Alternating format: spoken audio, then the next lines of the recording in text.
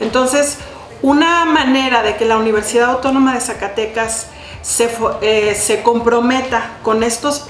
procesos de, migratorios, estos procesos que vienen desde la infancia, donde al niño se le inserta la idea de que tiene que hacer un rito de paso, como lo dirían los antropólogos, de salir de su ciudad natal para ir a hacerse hombres a los Estados Unidos o a otros países, requieren estos estudios que se generan desde la academia. Para la universidad no es un tema nuevo este de la migración. Desde hace muchos años se ha venido trabajando principalmente el aspecto de las remesas, ¿verdad? De cómo los zacatecanos van a los Estados Unidos y se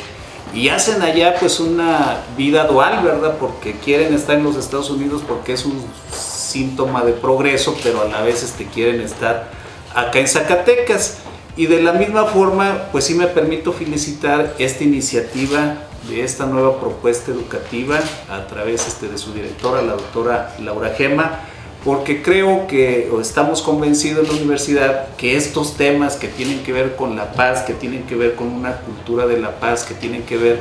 con una cultura de estos zacatecanos migrantes, en donde tienen repartida básicamente su familia, en donde son sujetos a temas este, de separación este, de familias, en donde cada año y todos los años pues hay un proceso migratorio muy fuerte de los zacatecanos. Entonces pues nosotros nos da mucho gusto colaborar con nuestra, con nuestra principal casa de estudios de donde yo